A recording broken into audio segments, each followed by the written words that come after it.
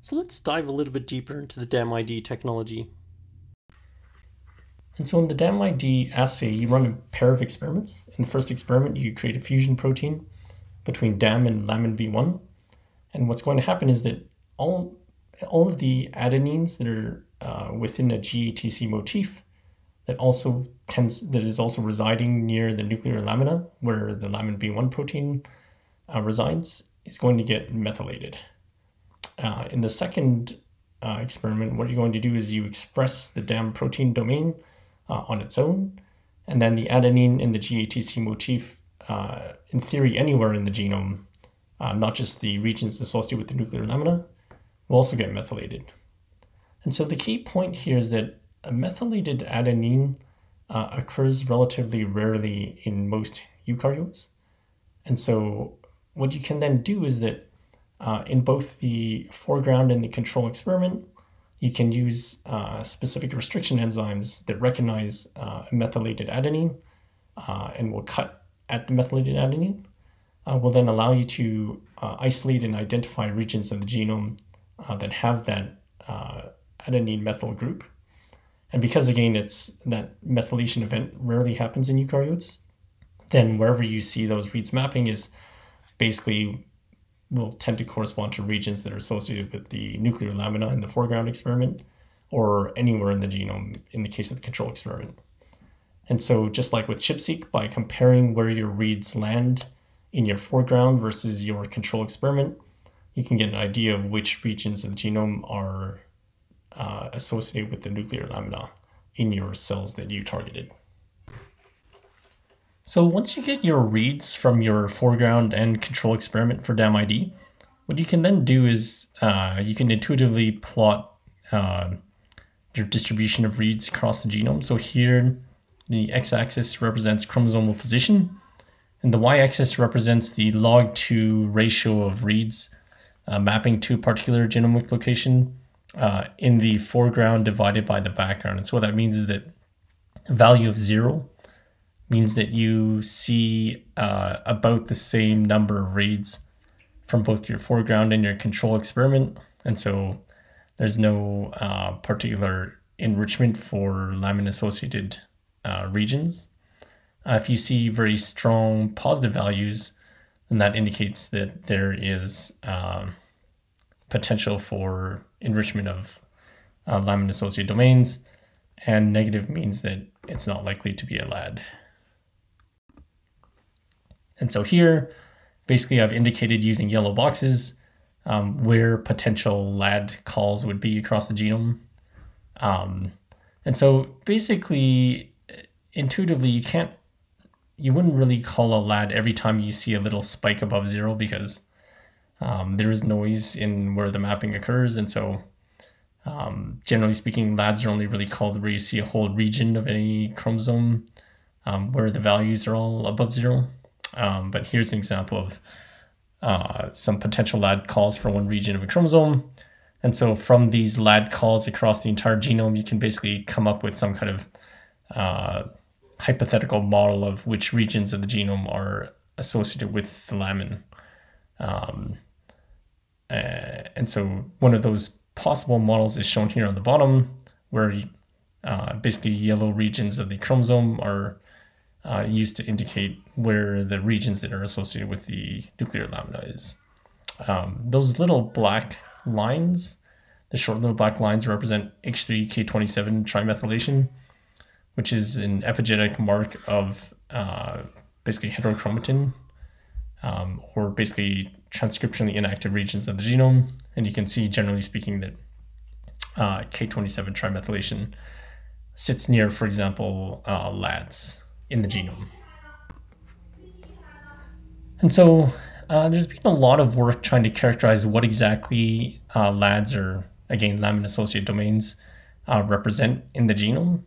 And so what you can do is you can take, for example, uh, the set of all regions that are called as LADs uh, from your DAMID experiment, and you can essentially align them. And so by align, what I mean is that LADs occur all throughout the genome, but what you can do is you can basically take each LAD and you can line them up, such you know, line them up uh, such that their starting position is the same. So that's represented by the dashed black line. And once you line them up, then you can draw plots like the one I'm showing you here on the bottom, where uh, basically the plot at zero on the x-axis represents the starting point of a lad. And so therefore the uh, sequence to the left basically represents this sequence upstream of the start side of the lad. And the sequence to the right um, of zero basically represents the region immediately downstream of the start of the lad.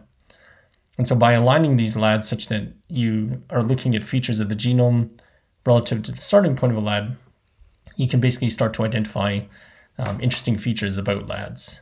Um, and so um, if you look at this plot on the bottom, for example, uh, what the uh, y-axis represents is the log 2, um, essentially log 2 ratio of how many reads, for example, you find in your uh, foreground DAMID experiment relative to the um, relative to background or your control experiment. And as you'd expect, because the lads are called based on an enrichment of reads in your uh, foreground experiment, basically you'll see you see a big spike in uh, the amount of like log two lamin association uh, of the genome to to lamin, basically right where the lad starts.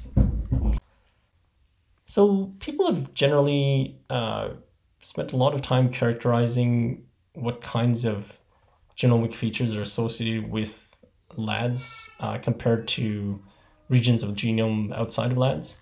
And so, generally speaking, regions uh, inside of LADs are generally uh, gene poor. Uh, the genes that are in, within LADs tend to be more poorly expressed than genes outside of LADs.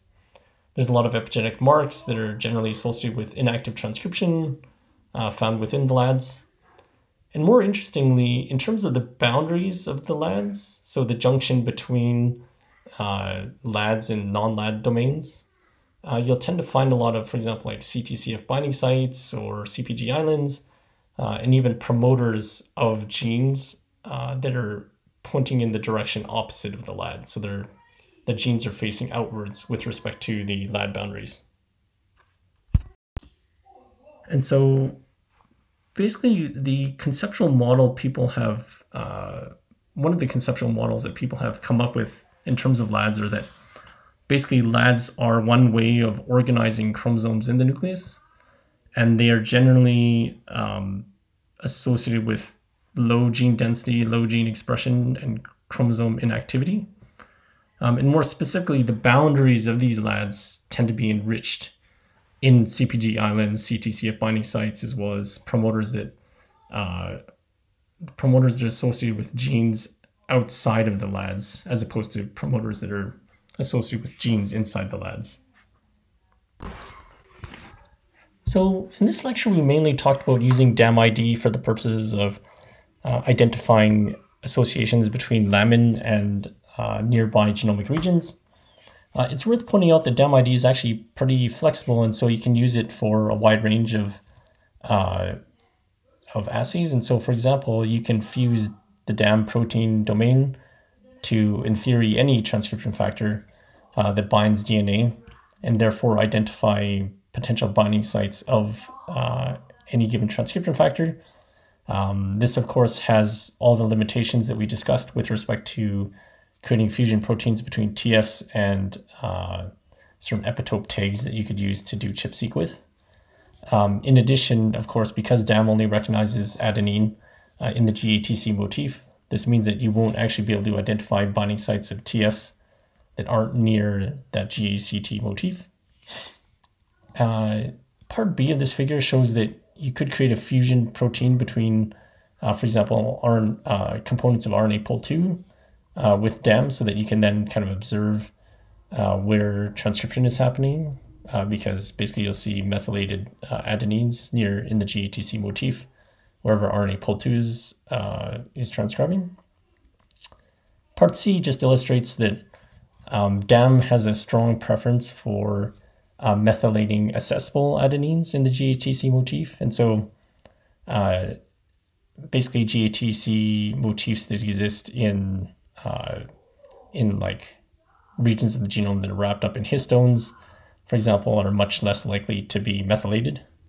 And so in some sense, you can use DAM to uh, try to identify open chromatin regions, which are again kind of associated with generally active transcription. Uh, part D just illustrates that um, you can even use DAM to identify some types of RNA DNA interactions. And so one type of epigenetic regulation is uh, what's called R loop formation, which is basically when um, RNA uh, actually forms a uh, hybrid duplex with DNA. So you get an RNA DNA duplex. And so the formation of this duplex can be associated with, for example, transcriptional repression. Um, and so if you want to identify where this uh, R loop formations are happening, what you can do is you can take your RNA of interest, uh, you can engineer a what's called an MS2 tag, which is basically a stem loop secondary RNA structure. And this MS2 tag can basically be rec recognized by a protein domain called the uh, MCP coat, or sorry, the uh, MS2 coat protein, uh, labeled as MC2 or MCP. And so if you create a fusion protein between MCP and DAM, basically wherever this MS2 tag forms, um, then you'll basically uh, have DAM uh, methylating adenine in the GATC motif, and therefore that will give you some indication as to uh, R loop formation. Part E of this diagram just shows that you can actually uh, use DAM to uh, detect interactions between transcription factors. So for example, uh, DAM is, again, it's a protein domain that forms a 3D structure. And so you can, in essence, split the DAM domain in, say, two, such that uh, basically uh, if either half of DAM, and basically if you uh, create fusion proteins where half of DAM is fused to one TF and the other half is fused to another TF, then basically DAM will only be active if both halves are uh, proximal to each other on the genome, which will only happen if uh, TF1 and TF2 are co-located and bound to their uh, proper DNA binding sites nearby on the genome. And so basically part F also illustrates that if you create a fusion protein between uh, some transcription factor and DAM, for example, you can sometimes detect uh, not just uh, methylated adenines near local binding sites of the TF, but if the TF is assisting in, for example, causing uh, loop formations, all right, looping in your genome, then basically you should also see uh, methylated adenines in the region that is kind of looped around uh, and brought close to the, for example, promoter, uh, just because of you know those uh, those adenines in the GATC motif in the, for example, long range enhancer uh, will also get methylated if they're close to the DAM uh, protein domain.